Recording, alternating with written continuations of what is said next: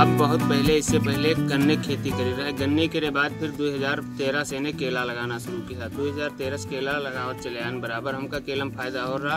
अब हमका पान की खेती के लिए उद्यान विभाग से जानकारी मिली तो महोबा ट्रेनिंग लिया। महोबा से ने बीज लान फिर यहाँ पर पान लगान फरवरी में। पर पान की खेती बलुई दोमट मिट्टी में है। दोमट मिट्टी में है, बहुत अच्छा काम याब है। और अब हमारा फरवरी में लगा था इसमें से हम बेच चुके हैं नौ हज़ार रुपये का पान।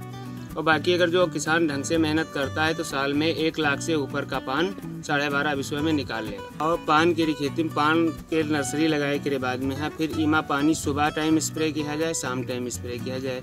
और पानी स्प्रे जब तक पान चल ना जाए, तब तक दोनों टाइम लगभग पंद्रह दिन तक करेक्ट चाहिए। फिर पंद्रह दिन के बाद एक टाइम पानी ऊपर से स्प्रे किया जाए या स्प्रिंकलर लगा दिया जाए। फ्लैट सिंचाई से ज़्यादा फ़ायदा नहीं होते और फिर की बंधाई होना चाहिए।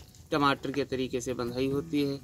और जब कोई रोग वोग लगे तो उस पर या तो अपनी जैविक दवा स्प्रे की जाए या फिर पेस्टिसाइड डाला जाए।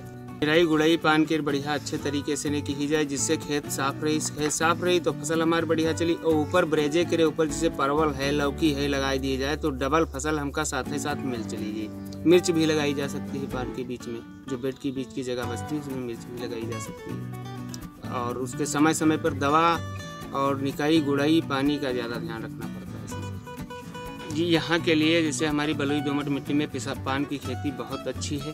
किसान भाई उसके साथ में डबल फ़सल ले सकते हैं जैसे परवल लगा सकते हैं, मिर्च भी लगा सकते हैं। कम जगह में ज़्यादा पैसा कमाया जा सकता है इसमें। और बाकी निराई, गुड़ाई पे ज़्यादा ध्यान देना चाहिए, पानी समय से लगना चाहिए।